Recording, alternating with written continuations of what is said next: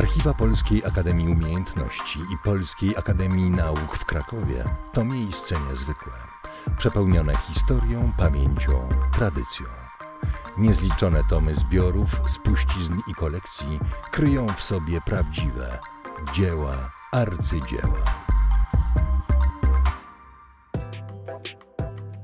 Podążając wojennym szlakiem Wojciecha Naremskiego, żołnierza 22 Kompanii Zaopatrzenia Artylerii drugiego korpusu generała Andersa, uczestnika bitwy pod Monte Cassino, natrafimy na niezwykłe miejsce związane nie tylko z działaniami bojowymi.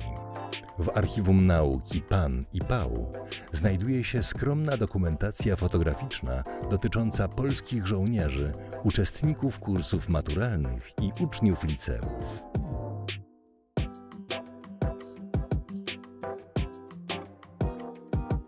Spuściźnie tej znajdują się fotografie ze szlaku bojowego czy wojennego Wojciecha Naremskiego. Są to fotografie mm, wyjątkowe, ponieważ mm, dokumentują życie mm, polskich żołnierzy, jednocześnie uczniów kursów maturalnych czy uczniów liceów.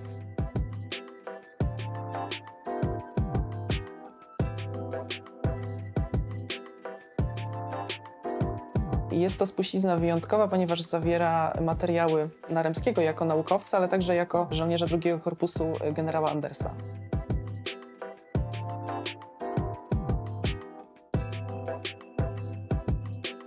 Druga wojna światowa kojarzy nam się z wielkimi operacjami, z bojowym szlakiem i chwałą wielkich wozów, a w cieniu tego wszystkiego byli prości ludzie rzuceni w wir wojny, którzy zostali oderwani od swojego zwykłego, codziennego życia, które wiedli, a wojna im to wszystko zabrała. I możliwość chodzenia do szkoły, czy do namiastki szkoły, bo nie możemy mówić o szkole we współczesnym rozumieniu, nie był to jeden budynek, były to zwykłe obozy, namioty, baraki, w których ci młodzi ludzie, ci młodzi żołnierze mogli wrócić do tego swojego, może nienormalnego, ale wrócić do toku nauki.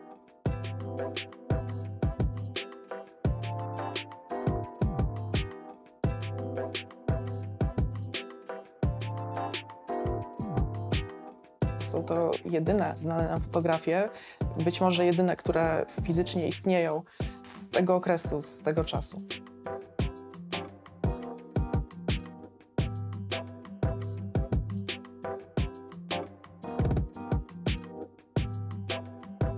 W większości są to zdjęcia pozowane, które pokazują obozy czy klasy uczniów, uczestników kursów naturalnych w miejscowości Barbara z Palestyny. Jest ich niewiele, jest raptem kilka fotografii, ale trzeba brać pod uwagę i pamiętać o tym, że jak na okres wojny, jest to rok 1943 czy 1944, jest to i tak dość pokaźny zbiór, ponieważ wykonanie fotografii w tamtych warunkach wiązało się z posiadaniem odpowiedniego sprzętu, czyli aparatu, klisz, co w warunkach wojennych i w warunkach tak egzotycznych, jakim była Palestyna, było bardzo dużym wyzwaniem.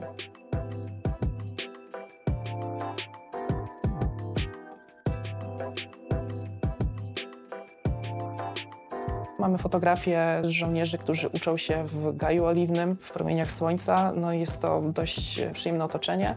Na tych fotografiach we wszystkich przypadkach widzimy, że grupy ludzi uwiecznionych są to grupy pozujące. Niestety nie ma żadnych fotografii, które by pokazywały bardziej naturalne sytuacje, dokumentujące takie codzienne życie, ale musimy to zrozumieć. Niestety wtedy trwała wojna, kursy były organizowane przez wojsko, co również ograniczało możliwości dokumentacyjne.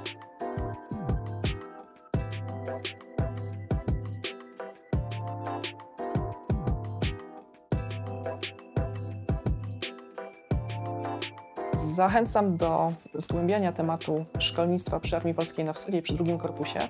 Jest to mm, temat pomijany czy zapominany w ogólnej narracji, a stanowi e, bardzo chlubną i wyjątkową kartę e, w dziejach e, Armii Polskiej, w polskiej historii. Więcej niezwykłych eksponatów znaleźć można w katalogu zbiorów artystycznych i naukowych na stronie pauart.pl.